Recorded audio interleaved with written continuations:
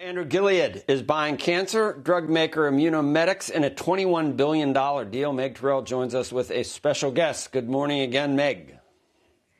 Good morning, Joe. That special guest is Dan O'Day, the CEO of Gilead. Dan, thanks for being with us so early out there in San Francisco.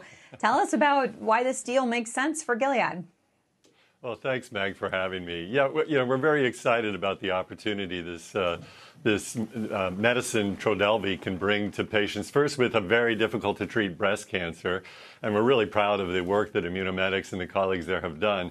But also the fact that this medicine could potentially help uh, patients with other types of cancers. Uh, this is a really, uh, you know, a cutting edge technology in that it's uh, identifies a protein on a cancer cell that's highly expressed in many different types of cancer called TROP2.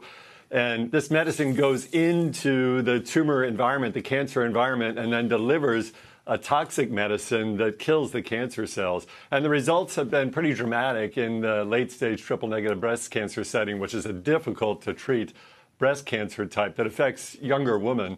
Uh, it's more than doubled what we've seen with chemotherapy before. So this is an important acquisition for patients. It's an important acquisition for Gilead because it allows us to really complement uh, the portfolio we've been putting together of cancer medicine to help patients with cancer, both in solid tumors, which is really what this medicine is for, as well as the work we're doing in blood cancers with our colleagues at Kite and acquisitions like 47 that we did earlier this year. So, uh, very excited about this opportunity.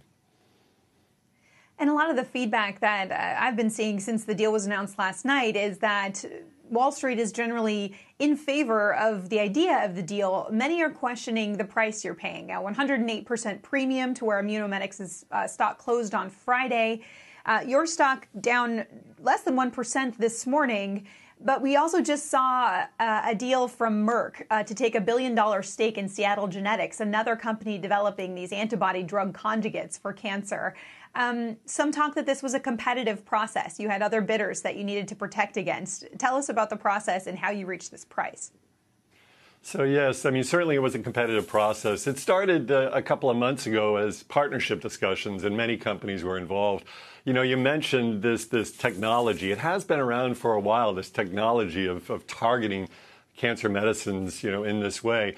But actually, uh, it's a very difficult thing to get right and to, and to be able to get the right level of benefit for patients and, and also to have the reduced side effects as well. So this is something that, um, you know, uh, many companies were looking at. Of course, we had the, the opportunity to look and build a relationship with the colleagues at Immunomedics who we trust greatly. I think the important thing when you talk about price and value is to think about this not as a single product for a single indication, but a medicine that can actually help, uh, potentially help patients with a number of different cancers. So even though the data that we've seen so far uh, in the late stage setting is in triple negative breast cancer, there's another form of breast cancer called hormone receptor positive breast cancer where there's been very interesting data.